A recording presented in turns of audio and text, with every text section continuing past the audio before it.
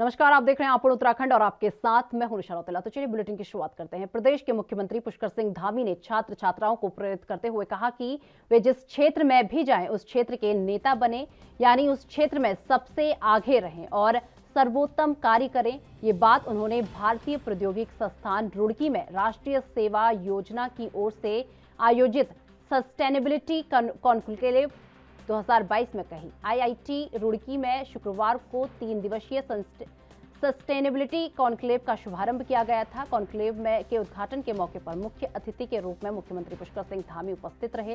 इस अवसर पर मुख्यमंत्री पुष्कर सिंह धामी ने सतत विकास से ही सभी समस्याओं का निदान संभव है। उन्होंने कहा कि प्रदेश के सतत विकास के लिए सरकार की ओर से जलवायु परिवर्तन, जल संरक्षण आदि मुद्दों पर नियुक्तियों का निर्माण किया जा रहा है। उन्होंने छात्रों को प्रेरित करते हुए कहा कि उन्हें केवल उनके माता पिता मोहल्लेवासियों और शहरवासियों को ही उम्मीद नहीं है, बल्कि प्रदेश और देशवासियों को भी उम्मीद है।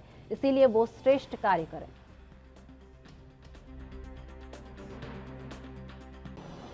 सभी मेरे प्रिय छात्र एवं छात्राएँ, मैं सबसे पहले तो आप सभी को बहुत शुभकामनाएँ देता हूँ कि आपका ये शानदार कॉन्क्लेव आज यहाँ पर प्रारंभ हो रहा है।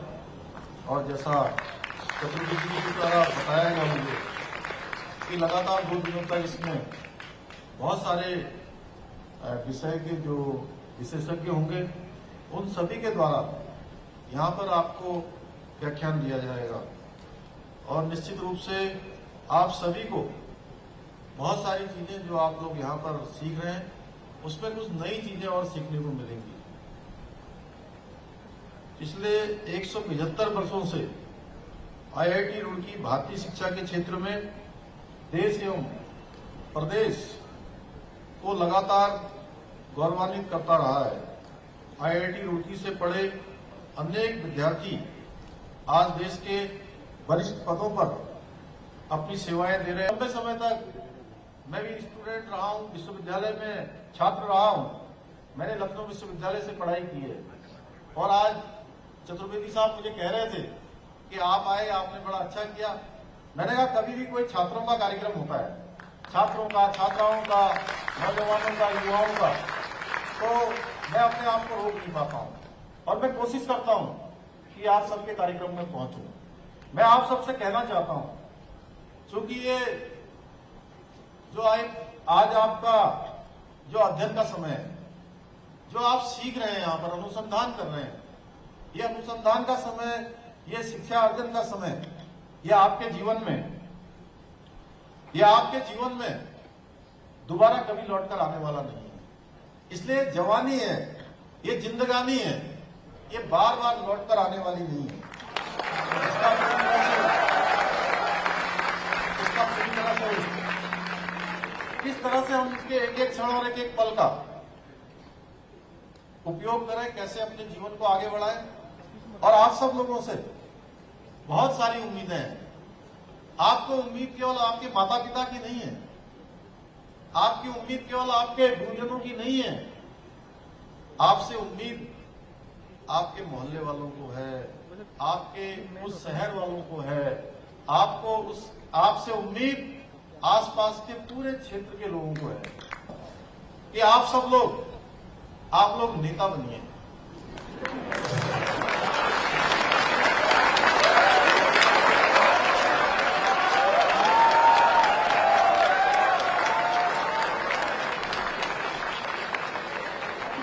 अब आप सोच रहे होंगे कि जो है मैंने जैसे प्रदीप बत्रा जी नेताजी बैठे या मेरी तरह जो है तो दो चार लोग आप लोगों में से ऐसे भी बन जाओगे तो कोई दिक्कत नहीं है।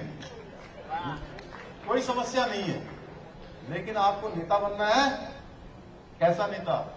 जैसे कुछ सालों पहले हम कहते थे, क्रिकेट के क्षेत्र में सचिन तेंदुलकर को, जिन्होंने मास्टर उत्तराखंड सरकार में कैबिनेट मंत्री चंदन रामदास अल्मोड़ा पहुँचे, जहाँ बीजेपी कार्यकर्ताओं ने फूल मालाओं से उनका स्वागत किया।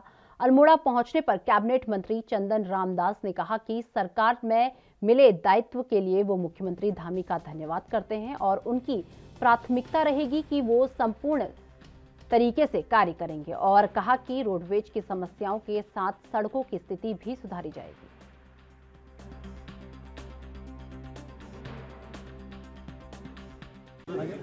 मंत्रिमंडल में शामिल होने के बाद अपने गृह जनपद अल्मोड़ा, क्योंकि मेरा जन्म स्थान है। और बागेश्वर जनपद बनने के बाद बड़े भाई के रूप में अल्मोड़ा में मैं पहली बार आया हूँ। मैं यहाँ के अपने माननीय अध्यक्ष जी की, उनकी पूरी टीम की, हमारे जनप्रतिनिधि की और अपने कार्यकर्ताओं का। जिस तरीके से उन्होंने मेरा अभिनंदन किया, मैं इस अभिनंदन कार्यक्रम के लिए अपने कार्यकर्ताओं को, अपने जनपद के लोगों को दिल से बहुत बहुत आभार व्यक्त करता हूँ। इनका सबका मैं धन्यवाद देता हूँ। और अब ये चार धाम यात्रा जो शुरू हो रही है मैं चाह रहा हूँ कि चार धाम यात्रा से अपने रोडवेज़ में अच्छी इनकम हो पुराने लंबित मामले को हम निस्तारित करें और रोडवेज़ को एक नए पृष्ठभूमि के रूप में प्रतिस्थापित करें क्योंकि बहुत सी समस्याएँ हैं और समस्याओं का निदान धीरे धीरे क्रम उत्तराखंड में बीजेपी विधानसभा चुनाव फतह करने के बाद एक्शन मोड पर दिख रही है। बात चाहे सिविल कोर्ट की हो या नकेल कसने की, धामी सरकार एक्शन में नज़र आ रही है। इसी कड़ी में सीएम धामी ने भ्रष्टाचार को रोकने के लिए एक टोल फ्री 1064 जारी किया है, जिस पर कोई भी अपनी शिकायत दर्ज करा सकता है। बता दें कि पिछले कई दिनों से सहकारिता विभाग का भ्रष्टाचार का मामला उत्तराखंड में जोरों पर था। एएनबी ने इस खबर को प्रमुखता से दिखाया था, जिसका मंत्री धन सिंह रावत ने संज्ञान लेते हुए कहा कि दोषियों को बख्शा नहीं जाएगा। विभागीय कमेटी ने इसकी जाँच कर रही है। आज ज़रूरत हुई तो इस मामले में साइट जाँच भी कराएँगे।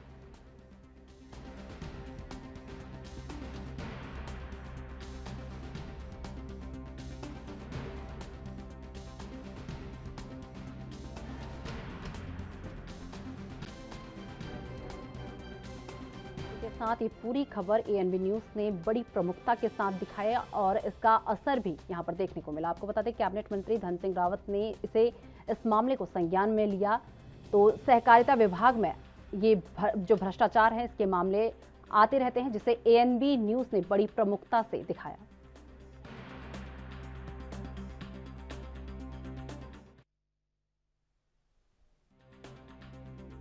किसी भी विभाग में पहले विभागीय और विभागीय जाँच में अगर लगता है कि भाई कोई दिक्कत है, या कोई ये कहता है कि साहब हम विभागीय जाँच से संतुष्ट तो फिर जो है, मैंने कल भी कहा, आज भी कहा, और आगे भी कहूँगा कि चाहे एस की जाँच करनी पड़े, चाहे कोई भी जाँच करनी पड़ेगी, हमारी सरकार किसी परिवहन और समाज कल्याण मंत्री चंदन रामदास ने कहा कि इस बार चार धाम यात्रा को सुगम तरीके से कराया जाएगा। हल्द्वानी में मीडिया के मुखातिब होते हुए चंदन रामदास ने कहा कि आगामी 18 अप्रैल को सभी निजी ऑपरेटर और परिवहन विभागों की बैठक ली जाएगी, जिसमें चार धाम यात्रा के लिए किराए का निर्धारण किया जाएगा। उन्होंने कहा कि समाज कल्याण और परिवहन में सुधार लाने के लिए विभागीय अधिकारियों को सौ दिन का रोड मैप दिया गया है, जिसमें परिवहन डिपो का बढ़ाने का काम किया जाएगा और घाटे से उभरने पर ज़ोर दिया जाएगा। कैबिनेट चंदन रामदास ने कहा कि उनका लक्ष्य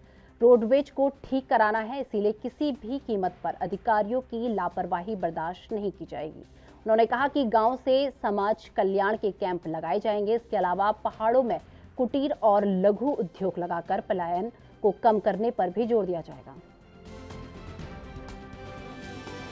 देखिए, परिवहन विभाग की मैंने समीक्षा की है और परिवहन विभाग में जो रोडवेज़ सेक्टर है, उसकी सबसे ज़्यादा समस्याएँ हैं। और मैं समझता हूँ कि जो रोडवेज़ का घाटा है, वेतन की समस्या है, अपने कर्मचारियों के ड्यूज हैं, उनको निस्तारण करने के लिए मैंने विशेष योजना बनाई है और 100 दिन का मैंने रोड मैप तैयार किया है और मैं 100 दिन के अंदर रोडवेज़ के घाटे को कम करने का प्रयास, कर्मचारियों को नियमित वेतन देने का प्रयास, और जो रोडवेज़ के कई बस स्टेशन हैं, जो खस्ता हालत में हैं, जो विवादित हैं, उनको भी मैं निस्तारित करने का प्रयास करूँगा।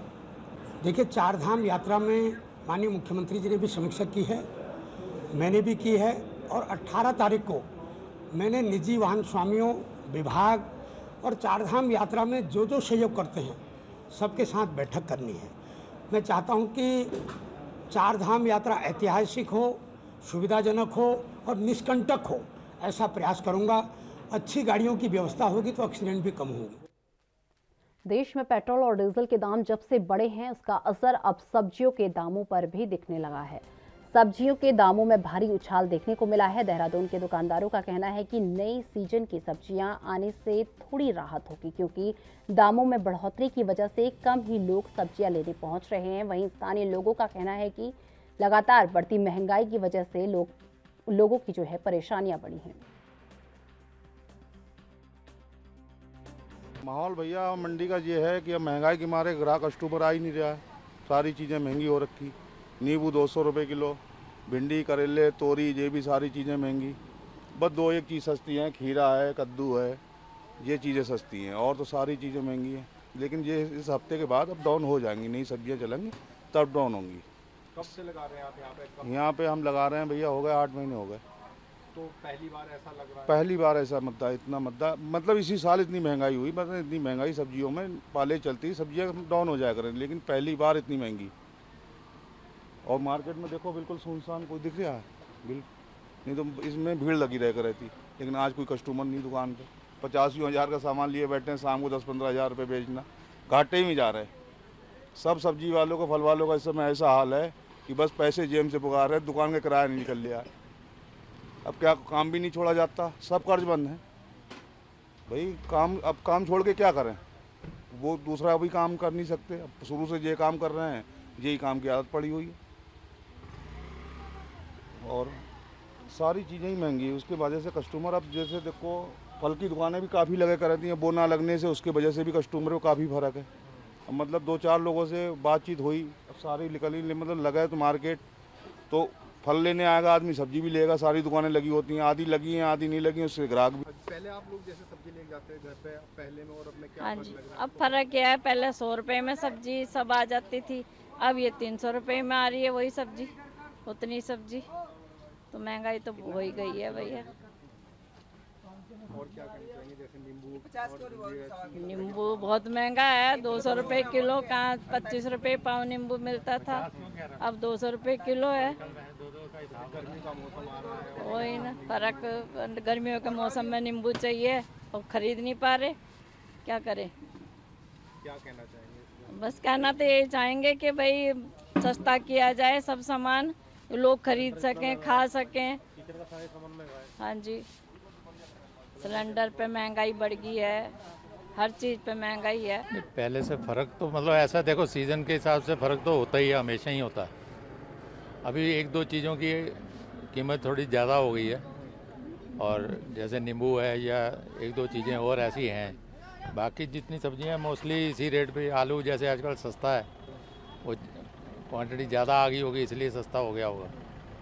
तो इतना थोड़ा बहुत तो ऊपर चलता, बाकी पहले से ज़्यादा तो है। ऐसा नहीं कि महँगा नहीं है।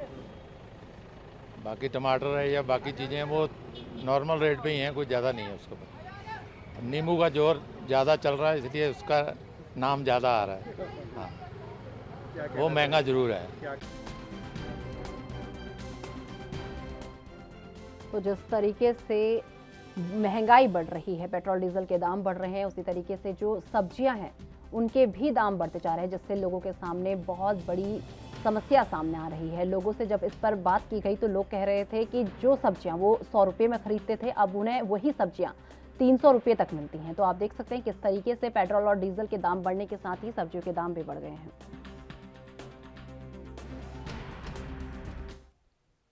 तो फ़िलहाल वक्त चुका एक छोटे से ब्रेक का, ब्रेक के बाद फ़ौरन हाजिर होते हैं।